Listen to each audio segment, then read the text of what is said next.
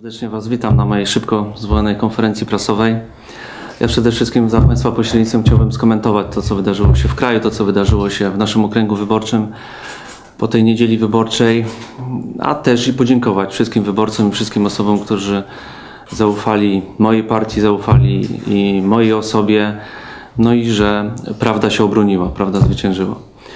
Szanowni Państwo, może od e, spraw ogólnych. Przede wszystkim chciałbym powiedzieć, że Polska e, wygrała, Polska jest w dobrych rękach, w rękach uczciwej partii i partii, która ma realny, rzeczywisty, kompleksowy program e, poprawy poziomu życia Polaków. Myślę, że na to Polacy bardzo oczekiwali. I myślę, że tego więcej nie muszę komentować, dlatego że od tego są bardzo wiele różnych osób i, i spraw centralnych. Natomiast chciałbym może o spraw tu bardziej wojewódzkich, okręgowych, lokalnych, na które miałem większy wpływ. Chciałbym powiedzieć i wyrazić swoje zadowolenie i radość, że mój zamysł polityczny osiągnął pełen sukces, a mianowicie yy, Wocławek zdobył trzech parlamentarzystów z Prawa i Sprawiedliwości, dwóch posłów i jednego senatora. To są kandydaci, których ja zgłosiłem jako jeszcze ówczesny prezes okręgu i którzy ten plan wykonali. Chcę powiedzieć, że też w sumie jako e, osoba Prawa i Sprawiedliwości cieszę się, że Wocławek nie ma już żadnego parlamentarzystę z innych ugrupowań, szczególnie Platformy Obywatelskiej, chociaż tutaj w dużej części muszę podzielić się tym sukcesem z panem prezydentem Wojtkowskim, który zrobił wszystko, żeby Platforma Obywatelska nie miała parlamentarzysty e, we e, Wocławku. No ale to są ich sprawy, ja mogę tylko podziękować i pogratulować. Chcę pogratulować wyniku zarówno panu senatorowi Józefowi Łyczakowi, który wygra, wygrał i wrócił na swoją funkcję po 8 latach. Chcę pogratulować pani Joannie Borowiak zwycięstwa i osiągnięcia mandatu jako drugi właśnie z Wocławka. Mm, Bardzo dobry wynik, skuteczna jest, chociaż przyznam szczerze, egzaminu z człowieczeństwa i przyzwoitości ani pani Borowiak, ani jej sztab nie zdali, ale ja to odkładam na bok. Ja mam nadzieję i wyrażam taką, taką chęć, że pani poseł Borowiak będzie teraz współpracowała ze mną w ramach budowania tutaj sukcesu Włocławka, województwa i Polski w ramach Prawa i Sprawiedliwości, że przestanie funk- y, funkcjonować w orbicie e, platformerskiego prezydenta miasta Włocławka, a będziemy współpracować razem dla naszego e, środowiska. Chcę bardzo gorąco podziękować jeszcze raz wszystkim wyborcom e, z Włocławka, z okręgu toruńsko-włocławskiego, z Kujawsko-Pomorskiego za to, że zaufali, za to, że e, zło ich nie zwyciężyło, że aż tak dużo, prawie 9 tysięcy osób, mimo tej totalnej nagonki ze wszystkich środowisk, również niestety i z mojego, gdzie powinienem mieć oparcie, nie dali się na to nabrać i że moja praca, e, moje relacje z wyborcami i z okręgiem e, zagwarantowały, że jednak przyniosłem prawie 9 tysięcy głosów na listę Prawa i Sprawiedliwości, przykładając dużą cegłę do zwycięstwa tego ugrupowania e, w kraju. Cieszę się, że mimo niesamowitej ilości podłości i, i, i prowokacji względem mnie w tej kampanii, ja się temu oparłem, oparłem się złu, a dobrem to zwyciężyłem, dlatego że ja nie odpłacałem nikomu ani komentarzem, ani zachowaniem e, tego typu e, same zachowania, tylko prowadziłem e, w ekstremalnie trudnych warunkach kampanię. Mogę nawet wręcz takie retoryczne pytanie, czy jest ktoś jeszcze w Polsce, który wbrew wszystkim swoim wrogom politycznym, wbrew nawet własnej partii politycznej, wbrew swojemu ulubionemu liderowi partii, wbrew e, własnym radnym z miasta, wbrew żonie i teściowej i, w, i nie mając ani złotówki limitu na kampanię wyborczą, czy wygrałby wybory parlamentarne, został posłem?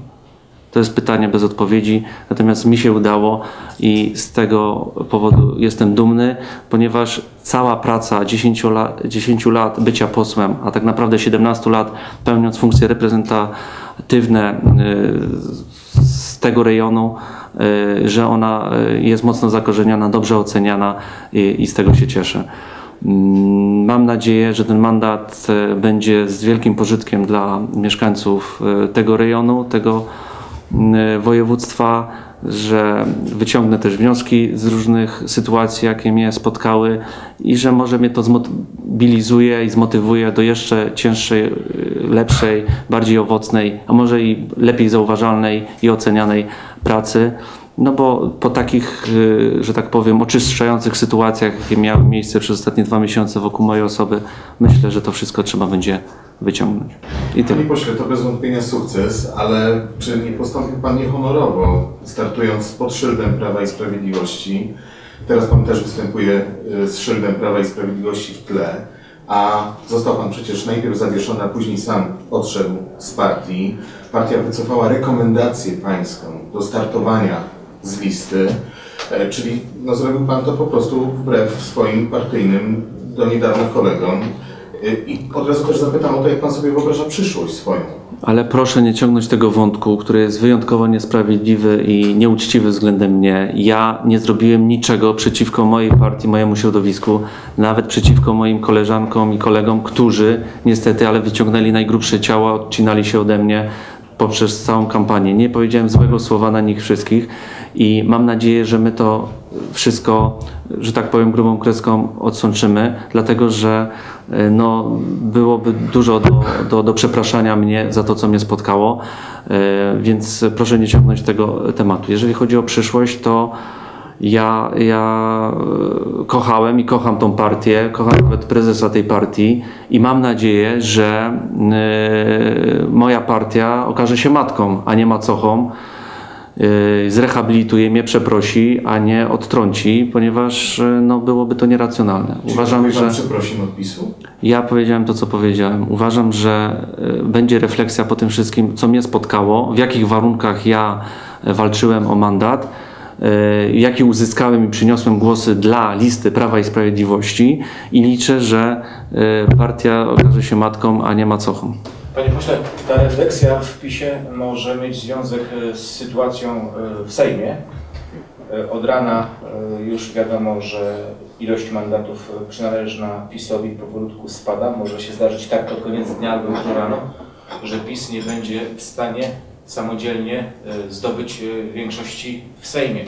Rozmawialiśmy pan prezes o tym nie wie, pan poseł o tym nie wie, e, tuż przed wyborami e, z wysoko postawionym w krajowych strukturach e, politykiem Prawa i Sprawiedliwości, który prognozował, żeby tak się miało zdarzyć, że zabraknie PiSowi jednego, dwóch głosów do właśnie większości. Wówczas partia, tu cytat, na poduszkach przyniesie panu posłowi legitymację partyjną utraconą tuż przed wyborami. Jak pan poseł ocenia tę sytuację? Co się tutaj może wydarzyć? Czy faktycznie spodziewa się pan ze strony byłej partii jakichś ruchów, czy też to pan pierwszy je zainicjuje? Ja, trudno mi komentować kuluarowe rozmowy z innymi przedstawicielami mojego ugrupowania, ale ja niezależnie czy po prostu z ludzkiej uczciwości, czy z rozsądku politycznego liczę, że po prostu y, wszystko będzie zrehabilitowane w stosunku do mojej osoby, a może i nawet y, ludzkie, przepraszam, też się pojawi. Naprawdę nic nie zrobiłem przez ostatnie tygodnie, y, żeby z tak grubej rury we mnie walono potocznie powiem, e, i żeby tak utrudniano e, mi życie. Ja przyniosłem swoją pracą wieloletnią dla Prawa i Sprawiedliwości e, dużo zysku politycznego i mam nadzieję, że ta uczciwość zwycięży i, i wrócimy do sta, stanu sprzed prowokacji wokół mojej osoby. Wrócimy do stanu, czyli jakie są Pańskie oczekiwania? Powrót do klubu, powrót do partii, odzyskanie szefostwa w okręgu włocławsko-toruńskim? Ja nie będę e, negocjował czy rozmawiał e, z moim ugrupowaniem za pośrednictwem mediów. Ja i tak dużo powiedziałem, po prostu swoje odczucia jako człowiek, jako e, poseł, który nigdy pod żadnym innym logiem nie występował jak pod logiem Prawa i Sprawiedliwości.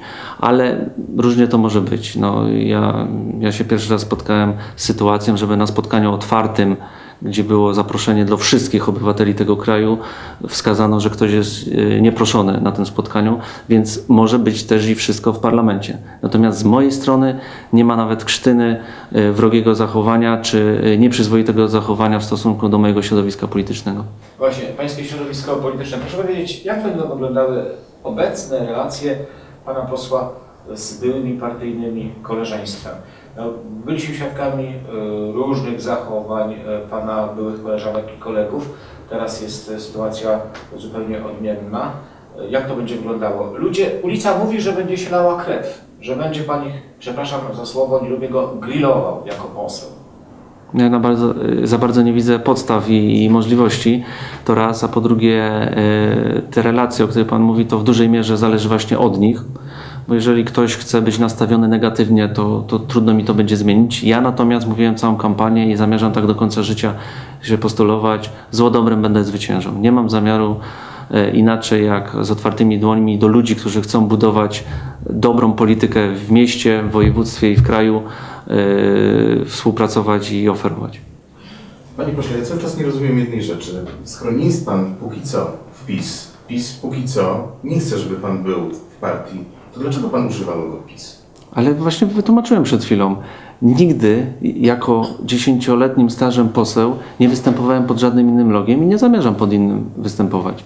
Yy, Formalności, czy zawieszenia, czy wątpliwości na czas wyborów, kiedy jest wojna o Polskę, yy, nie powinny mieć tu znaczenia na temat yy, tego, co ja czuję i czego jestem zwolennikiem. Jeżeli każdy z ulicy jest za prośbą czy, czy, czy chęcią sztabu wyborczego Prawa i Sprawiedliwości namawiany, żeby promować logo PiSu, to dlaczego poseł z dziesięcioletnim stażem w klubie parlamentarnym Prawo i Sprawiedliwość nie ma promować logo PiSu? No bo partia sobie tego nie życzy najwyraźniej. To proszę spytać partii, dlaczego tak się chce zachowywać nieracjonalnie. Bo albo chcemy y, być otwarci dla każdego, jak powiedział mój prezes Kaczyński wczoraj na wieczorze wyborczym i otwieramy do wszystkich, którzy chcą e, dobrych zmian dla Polski, albo mamy jakieś wyjątki i w tym momencie e, no, cała konstrukcja się troszkę wali. Może też się zdarzyć tak, że partia e, zapomni o Panu. Co wówczas? Jak będzie wyglądała e, pańska, jak będzie wyglądało pańskie funkcjonowanie w Sejmie? W takim razie mogę powiedzieć tylko, pożyjemy, zobaczymy. Jestem parlamentarzystą z mocnym mandatem z tego okręgu. Mam zamiar jak najlepiej, najuczciwiej i jak najsilniej reprezentować interesy mieszkańców tego okręgu. I będę to robił.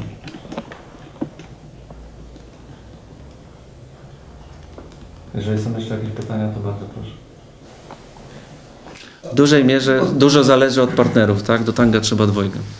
Ja przepraszam bardzo, pani Joanna Borowiak, obecna dzisiaj w naszym studiu telewizji Kujawy, zapytana o to, jak wyobraża sobie relacje z panem, powiedziała, że będzie robiła wszystko, żeby e, te relacje były jak najlepsze dla dobra miasta. Czy pan ma podobne podejście do sprawy? No to cieszę się, że tak powiedziała. To troszeczkę jest odpowiedź na moje też apel tutaj y, przed chwilą wygłoszony, że ja po pierwsze gratuluję, po drugie liczę, że y, będziemy współpracować i funkcjonować razem w jednym środowisku. No bo stąd wyszliśmy i tak naprawdę to ja rekomendowałem, zgłosiłem ją jako dotychczasowy szef okręgu na kandydatkę na posła i cieszę się, że moje y, rekomendacje odniosły sukces. sukces, ale w zestawieniu z wyborami sprzed czterech lat, sam Pan poseł przyznał, teraz głosowało na Pana około 9 tysięcy wyborców. Faktycznie jest to jakaś taka ekwilibrystyka, biorąc pod uwagę całość Pana sytuacji. No nie no, wymieniłem wszystkie elementy ekstremalne, Zaś, e, które wokół mojej osoby się skłoniły. No, no naprawdę pytam się, kto by osiągnął 9 tysięcy głosów e, przy takiej koniunkcji różnych wydarzeń. No, wszyscy się wyrzekli. Jakiś- było 17 tysięcy. Tak. Zatem różnica jest no, no, w zasadzie połowa. No zgadza się, no to, to i tak e, e, uważam za sukces naprawdę przy takim odżegnywaniu się od mojej osoby. No, na, na podstawie rzeczy, które już zostały rozwiane formalno-prawnie, nie istnieją, a jakaś nakręcona nienawiść trwała przez całą kampanię. Ja mam nadzieję, że tak jak kampania minęła, nadmuchany balon minął i zaczniemy racjonalnie się zachowywać, a nie, nie w tych emocjach i no już praktycznie trącającej nienawiści. Czy miał pan poczucie, że walczy sam przeciwko wszystkim, że wszyscy przysięgli się przeciwko panu?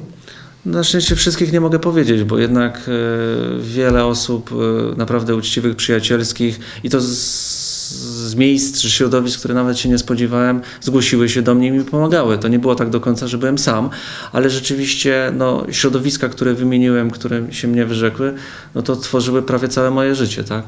Również osobiste, więc e, to nie było łatwo. Kiedy usuwa się grunt pod nogami, kiedy zostałem zaatakowany niesprawiedliwie, No i odbiera się nawet honor, tak jak pan tu redaktor przypomniał, a tak naprawdę trzeba było wykazać się siłą, y, wytrwałością, właściwie stać się mężczyzną i, i wbrew temu wszystkiemu walczyć, no i wygrać, jak się okazało. Czyli wbrew partii, żonie, teściowej?